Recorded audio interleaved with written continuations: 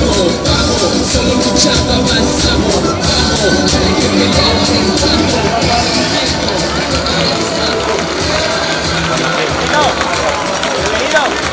El pueblo dice vamos, buenas noches Madrid.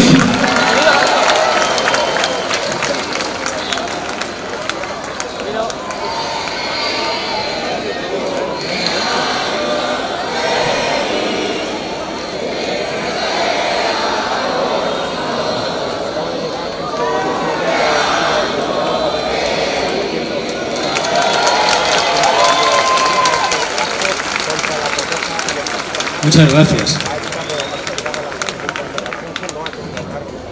Han pasado muchos, no tantos, han pasado unos cuantos años ya desde que las plazas se llenaron de dignidad, desde que aquel 15 de mayo los jóvenes ocuparon las plazas de nuestra patria, desde que movimientos sociales en defensa de la vivienda digna demostraron que había vecinos que podían dar la cara por sus vecinos, desde que la marea verde defendió la educación pública, desde que la marea blanca defendió que la sanidad es un derecho de todos y de todas.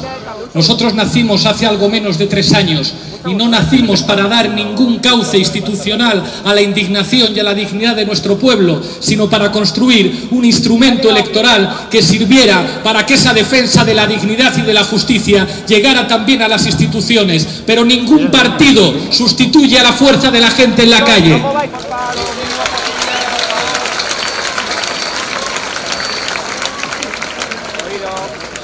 Trataron de combatirnos por muchos medios, movilizaron todo su arsenal, un arsenal de mentiras y de calumnias, y sin embargo logramos llegar con más de 5 millones de corazones al Parlamento. Recuerdo perfectamente al dueño del Banco Sabadell diciendo hace falta un Podemos de derechas, hace falta un Podemos de los bancos y se inventaron a Ciudadanos, el partido del IBEX 35, el filial naranja del Partido Azul, que desde el principio, como le dijimos al Partido Socialista, no tenía otro fin que ser el bastón de lo viejo, el bastón de la restauración, frenando las posibilidades de cambio político en nuestro país. Y a pesar de todo, el cambio político se abrió paso también a través de las instituciones.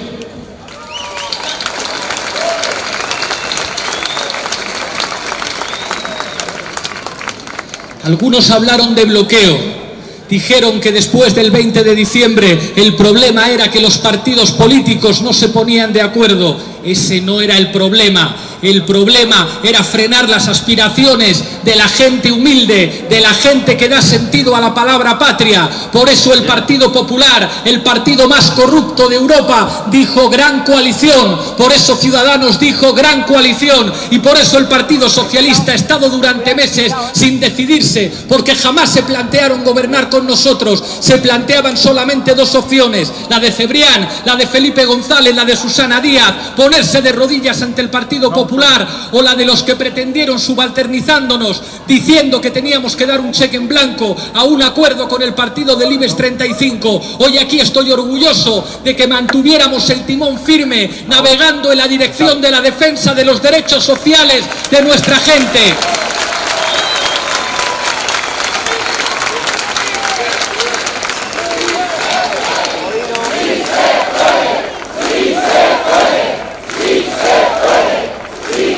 Os aseguro que no fue fácil y que la presión en política se nota y fuimos capaces de tender la mano para hacer un gobierno con otros que pusiera por delante los intereses de la gente y al final tuvieron que dar un golpe de Estado en el Partido Socialista que se estaba podemizando demasiado. ¿Qué es eso de que decidan las bases? ¿Qué es eso de que elijan las bases a los dirigentes? Se estaban podemizando demasiado y ahora ya visteis la foto del famoso desfile, son un ejemplo de la vergüenza que en este país va a entregar el poder otra vez al Partido Popular.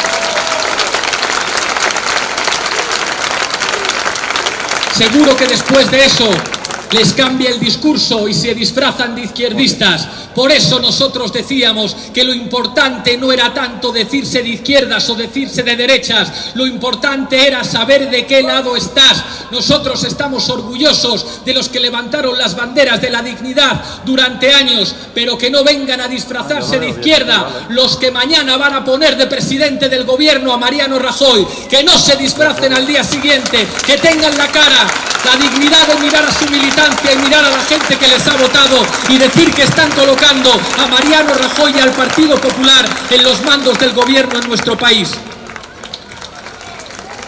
Se las dan muy felices. Están convencidos de que han conseguido pararnos en el Parlamento a través de esa nueva gran coalición esa gran coalición entre el Partido Popular, el Partido Socialista y Ciudadanos. Pues desde aquí les decimos que no van a conseguir que nos atrincheremos en el Parlamento, que hay algo mucho más importante que los parlamentos, que es la posibilidad de un pueblo organizado que convierte en grito político su sueño por un país más justo, el sueño por la dignidad, el sueño por el cumplimiento de los derechos humanos. Fueron las plazas de nuestro país las que nos señalaron el camino y lo digo muy claramente, nosotros no nacimos para que dejaran de existir movimientos sociales y se canalizaran sus reivindicaciones a través de un partido. Somos humildemente un instrumento más y trataremos de ser ejemplo en los parlamentos, en los ayuntamientos y en todas las instituciones en las que estemos. Pero hoy os digo que no tenemos la fuerza suficiente para asegurar desde el Parlamento que los 5 millones de compatriotas que padecen la pobreza energética vayan a poder salir de esa situación, que para eso hacéis falta vosotros y vosotras, que vosotros y vosotras sois el músculo militante de la dignidad, que no basta un Podemos de cargos públicos y de parlamentarios, que hace falta un Podemos que esté en los barrios, en los centros de estudios, en los centros de trabajo, poniéndose no delante, a la cola de los movimientos sociales para empujar desde atrás, para prestar todo nuestro capital político al verdadero espacio de la política, que es la cotidianidad, es mentira que la política sea en los parlamentos. Es mentira que el gran debate político sea ese teatro de la sesión de investidura que no cambia la posición de nadie. El verdadero debate político es el que lleváis vosotros y vosotras a vuestras familias, a vuestros barrios, a vuestros centros de trabajo, a vuestros centros de estudio. Ser un movimiento popular es construir los instrumentos de empoderamiento político de la gente. Nada se regala en los parlamentos. Nosotros construimos una fuerza política que puso en jaque a las oligarquías de este país sin tener un solo diputado, gracias a que la gente nos colocó ahí y no se nos va a olvidar, nunca nos convertiremos en uno más y para eso necesitamos que nos señaléis permanentemente que el camino está en la construcción de una patria digna con sus movimientos y sus contrapoderes en la sociedad civil.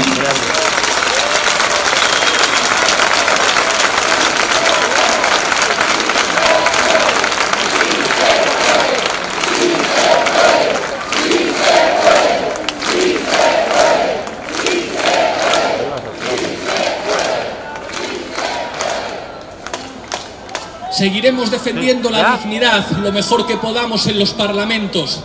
Pero hoy reconozco desde aquí que frente a esa gran coalición en el Congreso de los Diputados no tenemos la fuerza para acabar con la corrupción de las grandes eléctricas, esas que se compran a expresidentes como Aznar y como Felipe González, colocándoles en sus consejos de administración. Los 67 diputados de nuestro grupo parlamentario son muchos, son un espacio político sin precedentes en este país, pero no somos suficientes para sacar a los corruptos de los consejos de administración nos hacéis falta vosotros, la gente organizándose. Ese músculo militante es la tarea política fundamental a la que estamos llamadas y llamados. Si ellos pretenden que nos atrincheremos en el Parlamento, les vamos a responder desbordando los espacios sociales. La patria no está dentro de las cuatro paredes de la carrera de San Jerónimo. La patria es la gente que trabaja, la patria es la gente que busca trabajo, la patria es la dignidad de los abuelos que luchan por sus nietos y por sus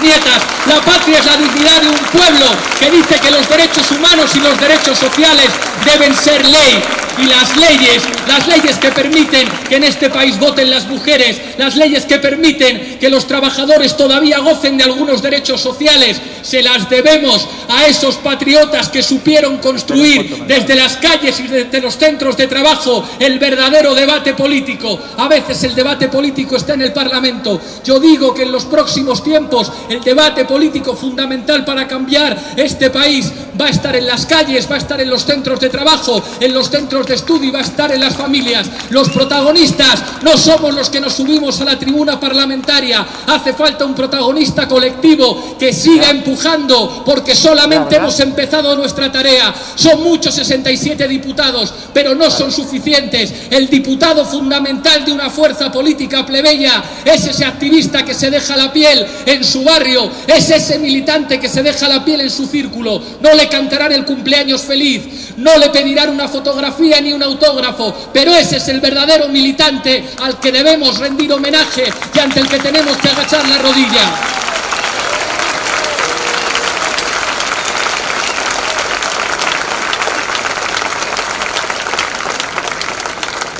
Es una vergüenza que haya 5 millones de compatriotas que este invierno vayan a pasar frío por no poder pagar la luz y la calefacción en la cuarta economía del euro. Es una vergüenza que desde 2007 la política de esas oligarquías haya multiplicado por tres el número de compatriotas que padecen la pobreza energética, pero no tenemos fuerza suficiente en el Parlamento para asegurar que esa gente vaya a poder calentar su casa adecuadamente. Para eso tenemos que arremangar y hay que construir un movimiento social que sea capaz de empujar los derechos humanos y los derechos sociales. Los parlamentos no regalan nada, los derechos se conquistan luchando. Por eso decía el otro día en Mérida que toca decir luchar, crear poder popular.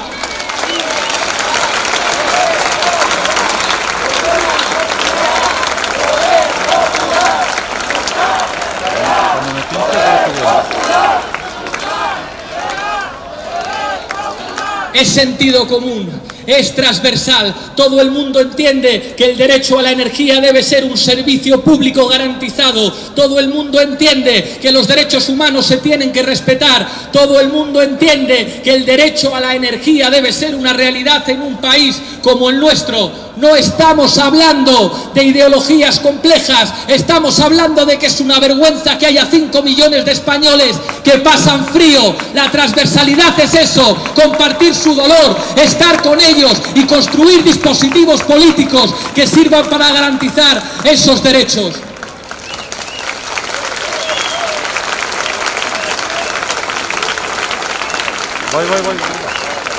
Muy pronto asistiremos a la investidura de la vergüenza. Asistiremos a la investidura en el que el partido más corrupto de Europa y el señor Mariano Rajoy ganarán la presidencia de este país después de que hayan dado un golpe de Estado los poderes económicos y oligárquicos en el Partido Socialista, porque eso es lo que ha ocurrido. Nosotros intervendremos allí, pero sus risas arrogantes serán las de siempre, porque a nosotros no nos temen, a la gente sí, a la gente que defiende sus derechos sí. Lo repito, no nacimos para transformar las reivindicaciones de la gente en parlamentarios que no muerden. No nacimos para esos. Hay muchos que para hablar bien de Podemos dicen que bien. Gracias a Podemos ya no hay movilización. Gracias a Podemos ya no hay protesta. Pues si eso ha ocurrido, tenemos que rectificar y tenemos que arremangarnos. Hacen falta más diputados, pero hasta que haya unas nuevas elecciones que podamos ganar, necesitamos a la gente militando, necesitamos a la gente en los barrios. Eso es lo que significa la iniciativa Vamos, poder popular en manos de la gente. Somos una organización que tiene que ser un instrumento. Nos servimos y somos solamente un espacio para los cargos públicos. Muchas gracias por cantarme el cumpleaños feliz, pero sobre todo, muchas gracias porque sois lo que me hace orgulloso de ser español, lo que me hace orgulloso de ser patriota. Gente que no necesita ponerse banderas en la pulsera, gente que no necesita repetir ocho veces la palabra España, gente digna como vosotros. Vosotros sois el corazón del país que queremos construir. Muchas gracias. Luchar, crear, poder popular.